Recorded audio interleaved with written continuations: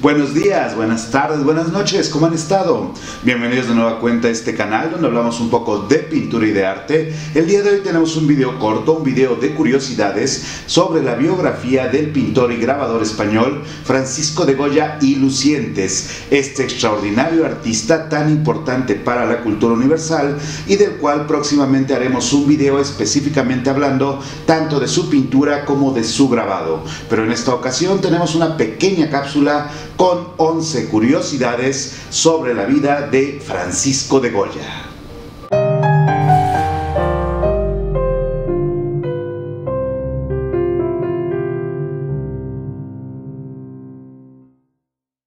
Empecemos por decir que el nombre completo de Francisco de Goya era Francisco José de Goya y Lucientes y nació en el pueblo de Fuente de Todos, en España, el 30 de marzo de 1746 para morir en la ciudad de Burdeos, en Francia, el 16 de abril de 1828. Goya se destacó como pintor, grabador, dibujante, siendo heredero de la tradición de la pintura española, aunque también contaba con la influencia de autores como Gian Battista Tiepolo y Antón Rafael Mengs. Pero vayamos directamente a las curiosidades sobre la vida de este extraordinario artista. Número 1. La entrada de Goya a la Academia de Dibujo de Zaragoza, dirigida por José Luzán, se produjo en el año de 1763, cuando el pintor contaba con 13 años, una edad inusualmente tardía para un aspirante al gremio de pintores. Recientes estudios han revelado que la primera infancia del pintor estuvo marcada por complicaciones económicas en su familia, la cual le empleó en diferentes labores para ayudar con el gasto familiar poniendo en riesgo que Goya pudiera dedicarse a la pintura. Es decir, que estuvimos muy cerca de quedarnos sin este genio de la pintura española. Número 2. Francisco de Goya fue un pintor sin demasiado éxito en los certámenes de la Academia de Artes de San Fernando, máxima institución del arte español de la época. Por ejemplo, en 1763 concursa por una beca a Italia, pero es superado por su compañero Gregorio Ferro. Tres años más tarde, vuelve a intentarlo elaborando un óleo de la emperatriz Marta y Alfonso el Sabio, pero es superado, a juicio del cuerpo académico, por su futuro cuñado Ramón Valleu. Anteriormente, Goya había sido rechazado en dos ocasiones para ingresar a esta institución. Así que ya lo saben, no se desanimen, a Goya también le costó trabajo. Número 3 hacia 1770, probablemente un tanto decepcionado por no conseguir la beca que otorgaba la Academia de San Fernando, Goya costea su propio viaje para estudiar a los grandes maestros italianos, por lo que tiene contacto con Guido Reni, Rubens, Paolo Veronese y Rafael, entre otros. El registro de estos viajes se hallan en el famoso cuaderno italiano conservado en el Museo del Prado un tipo de diario de viaje conocido como tacuino que abarca de 1770 a 1786. A diferencia de sus libretas de apuntes, el cuaderno italiano contiene desde dibujos hasta reflexiones y caricaturas realizadas por el autor, a la par de cuentas de gastos, anotaciones sociales y nombres de personas que conoció durante su viaje a Italia. Número 4. En 1780, Goya fue nombrado académico de mérito de la Academia de San Fernando, por fin. Para conmemorar este hecho, pintó un Cristo crucificado al estilo academicista, dando especial atención a la anatomía, la luz y el manejo de las veladuras y los medios tonos. Este cuadro está inspirado en el Cristo de Velázquez de 1632 y el de Mengs de 1765. El mismo fue elogiado a la par de la obra de Velázquez como una de las obras culminantes de la Escuela de Pintura Española. Número 5. Hacia 1793, una serie de dolencias padecidas por el pintor se agravaron hasta el punto de postrarlo en cama. La naturaleza específica del padecimiento ha sido un misterio, aunque sus síntomas fueron bien registrados en la época, incluyendo vértigo, pérdida de equilibrio, mareos y crisis similares a ataques esquizofrénicos que se repitieron hasta 1974. Algunos autores han propuesto que la enfermedad de Goya era de carácter psíquico debido a su interés por los locos y los manicomios, motivo recurrente en su obra. Asimismo, señalan que el apellido Goya figuraba en varios pacientes del manicomio de Zaragoza, lo que marcaría un precedente familiar respecto a algún trastorno mental de carácter hereditario. No obstante, el autor Juan Antonio Vallejo Nájera, en su libro Locos Egregios, rechaza la teoría de la esquizofrenia basándose en los pocos o nulos cambios en la personalidad del pintor, a diferencia de los trastornos de personalidad característicos de los que padecen estas enfermedades. En cambio, señala que los síntomas son consistentes con el envenenamiento con mercurio presente en un remedio de la época conocido como ungüento napolitano y recomendado para tratar la sífilis, mismo que remitía la infección, pero afectaba gravemente los pulmones, además de producir la mayoría de las molestias padecidas por Goya. Otra teoría es la del saturnismo, enfermedad producida por el envenenamiento por plomo y relativamente común en los pintores que trabajaban con este pigmento. No obstante, Vallejo Nájera señala que Goya no preparaba sus pinturas, sino que las mandaba moler aunque la historiadora María Rodríguez Torres menciona que el envenenamiento por mercurio habría resultado fatal y que el plomo pudo haber sido inhalado por accidente mientras pintaba. Esto, junto con un concienzudo estudio alrededor de la sintomatología del autor, contenida en su ensayo Goya, Saturno y el Saturnismo, ha establecido el envenenamiento por plomo como la versión más verosímil respecto al padecimiento del pintor. Número 6. Tanto contemporáneos como historiadores han hecho referencia a la tacañería del pintor, dado que las finanzas personales parecían ser de suma importancia para Goya, no solo en cuidar los gastos cotidianos, sino en la forma en que evaluaba sus encargos pictóricos. Un ejemplo recurrente es el hecho de que cobrara extra por pintar manos, ropajes o joyería. Este detalle es retomado en la película del 2006 Los fantasmas de Goya, cuando el pintor encarnado por Stellan Skarsgård le pregunta al personaje de Javier Bardem si quiere una o dos manos en su retrato. Número 7.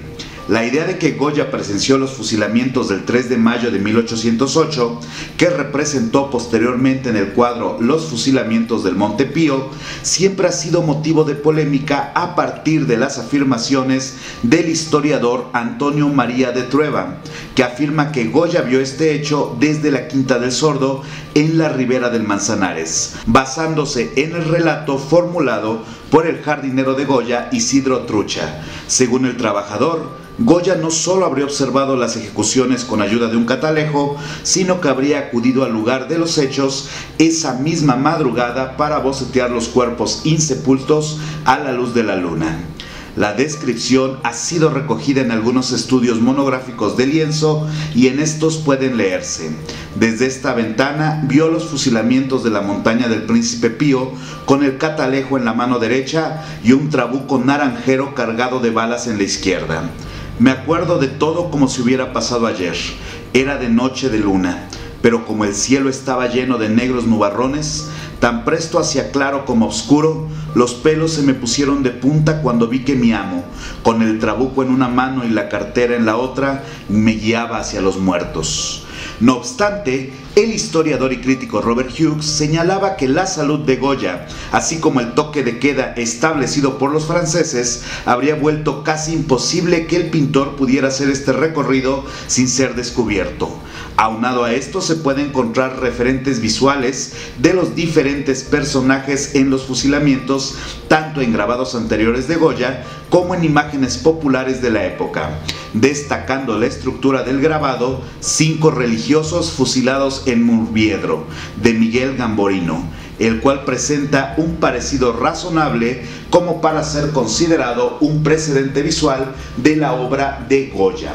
Número 8. Aunque la maja desnuda de Goya está inscrita en la tradición de las Venus renacentistas, la falta de elementos que den contexto a la imagen la convierte en una propuesta innovadora y atrevida para su época, por lo que provocó reacciones negativas como la del grabador Pedro González de Sepúlveda, quien la describió como un desnudo sin dibujo, ni gracia, ni colorido. Y aunque la identidad de la modelo se ha relacionado tradicionalmente con María Teresa de Silva Álvarez de Toledo, duquesa de Alba, lo más probable es que se trate de Josefa Petra Francisca de Paula de Tudó, más conocida como Pepita Tudó para los amigos, amante de Manuel Godoy, secretario de Estado de Carlos IV, quien encargó ambas versiones de la obra conocidas como La Maja, siendo la versión desnuda para la apreciación privada de Godoy y sus allegados. Sin embargo, tras volverse pública la obra, atrajo la atención de la Cámara Secreta de la Inquisición, restablecida por Fernando VII tras su vuelta del exilio en Francia.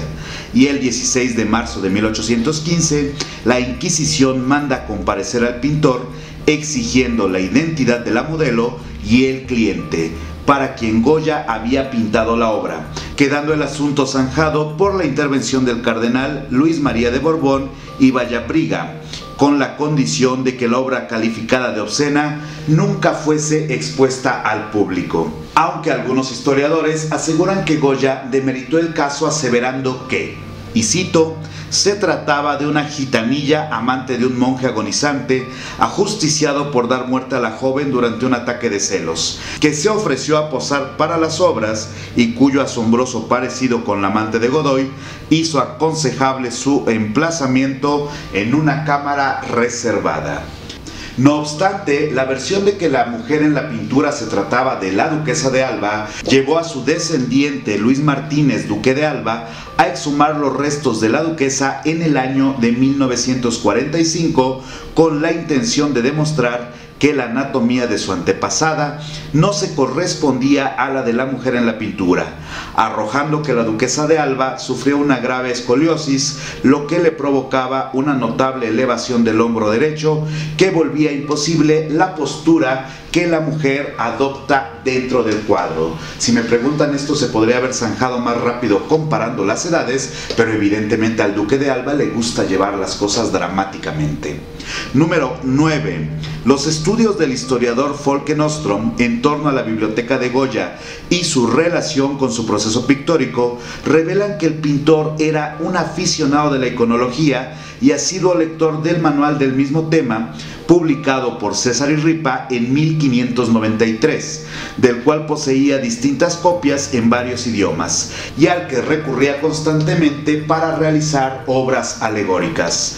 En su libro Goya, Saturno y Melancolía, Estudios sobre el arte de Goya, Nostrom señala distintas anotaciones dentro de los mismos manuales que prueban el uso a modo de guía que el pintor hacía de la obra de Ripa, tanto para pinturas de tema mitológico como para codificar significados ocultos dentro de sus obras de temas contemporáneos, así como retratos civiles y de la nobleza. Número 10. En 1888, los restos de Francisco de Goya, quien había muerto en Francia, fueron exhumados con la intención de repatriarlos bajo la iniciativa de Joaquín Pereira, quien había encontrado la tumba del pintor durante un viaje a Burdeos. No obstante, al abrir la cripta que compartía con su consuegro Martín Miguel de Goicochea, descubrió los huesos de ambos esparcidos por el suelo y la cabeza del pintor desaparecida y si bien el traslado de los restos mortales de ambos no se dio hasta 1899, el cráneo del artista se mantiene en paradero desconocido, siendo la versión más aceptada que la osamenta fue robada por saqueadores contratados para hacer estudios frenológicos sobre el autor aunque una investigación más reciente arrojó que el pintor Dioniso de Fierros poseía una pintura donde se lee, este es el cráneo de Goya pintado por Fierros en 1849, como lo señala el documental Oscuro y Lucientes. Según esta teoría, el cráneo habría terminado siendo alimento de los perros cuando uno de los hijos de Fierro arrojó la osamenta a su mastín para que éste se entretuviera. Vaya festín que se ha dado este perro. El resto del esqueleto del pintor descansa pacíficamente en la ermita de San Antonio de la Florida en la ciudad de Madrid. Número 11. En octubre de 2018, una obra de Goya que se pensaba destruida reapareció en una exposición en el Museo de Zaragoza. La obra de 26 por 17 centímetros titulada Visión Fantasmal habría sido cedida por una familia aragonesa que prefirió mantener el anonimato poniendo fin al misterio de su paradero, ya que la pieza se hallaba extraviada desde el año de 1928. Esta obra es una de las pinturas más oscuras de Goya y representa una figura fantasmal que se cierne sobre una serie de personajes que la miran paralizados. El pequeño estudio estaría fechado posterior a su grave enfermedad y su sordera en los últimos años del siglo XVIII, entre 1797 y el año de 1800. Estas son algunas curiosidades de este extraordinario pintor Francisco de Goya y Lucientes. Les comento que vamos a hablar más extensamente de su obra, de su biografía en otro video. Esta es una pequeña cápsula para entretenernos, para saber algunas peculiaridades de esta vida tan emocionante. Como un bonus les puedo comentar que Goya tuvo un fuerte pleito ni más ni menos con el duque de Wellington, uno de los oponentes más formidables de Napoleón Bonaparte y que debido a su apoyo a las milicias irregulares españolas le fue concedido, entre otros lujos y algunas pinturas de la colección real, la posibilidad de ser retratado por Francisco de Goya, el cual no solo no era partidario de la intervención de los ingleses en la guerra contra Francia, sino que tenía una especial antipatía por el duque de Wellington, lo cual desencadenó un pleito debido a que este personaje criticó a Goya diciendo que sus pinturas no eran más que mamarrachos y Goya a su vez cuestionando las habilidades militares de este personaje.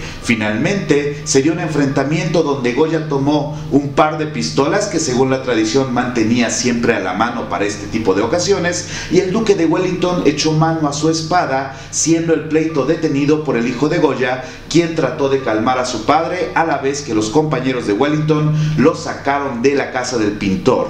Algunos autores han mencionado que este pleito pudo haber cambiado la historia de Europa, ya que habría, si Goya era tan buen tirador como dicen, liquidado a una de las figuras claves de la oposición contra el expansionismo francés de la mano de Napoleón Bonaparte. Si ustedes conocen más curiosidades de Francisco de Goya, los invito a que las dejen en el área de mensajes aquí abajo y que me sigan en mis redes sociales, Instagram, Twitter y en mi página oficial de rfranciscosoriano.com y que dejen sus sugerencias, apoyos para el Patreon o vía PayPal en las áreas correspondientes. Desde la Ciudad de México les mando un abrazo, un saludo y nos vemos la semana que viene.